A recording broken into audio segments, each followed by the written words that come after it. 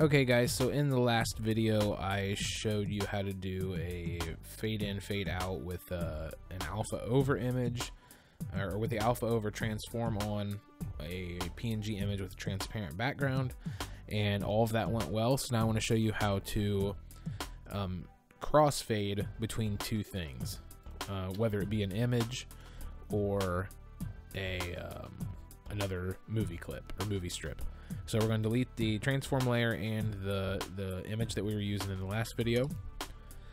And you can just select both of those and hit delete and then erase strips. And I'm just going to bring in a regular image um,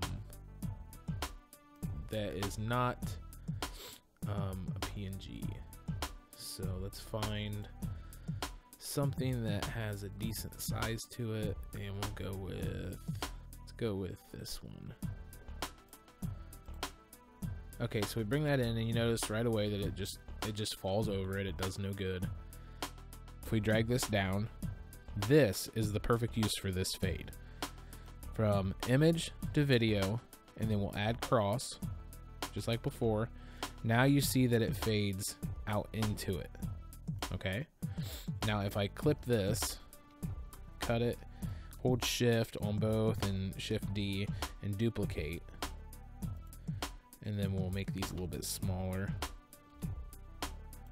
If we do the same thing down here, shift, remember, shift, um, click, shift, click from one to the other. So shift or click uh, the video strip, hold shift, click the image strip, add effect strip, cross.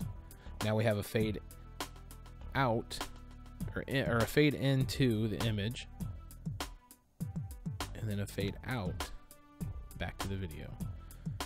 So that's another way that you can do um, a crossfade or a fade or whatever. Now the fade to black, we'll delete all these.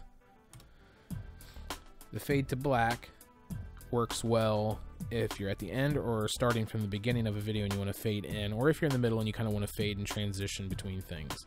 Now this is really simple. It's almost the same process and what you'll do is add effect strip. And we're going to add color. And it'll automatically add a black color in for you. So you're good there. And then just like before, we're going to go what we want it to fade from and then click what we want it to uh, fade into. So right click the video, shift, right click the color strip, add effect strip, cross. And now we have uh, very simple fade to black. All right, that's easy enough. That is the majority of the crossfades that just about anybody would use. So that I won't go any further into that.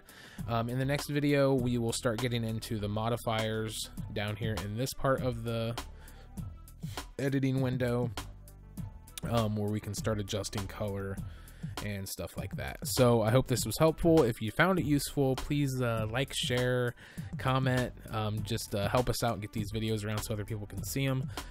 Um, other than that, I hope you guys enjoyed it, and we'll see you in the next video.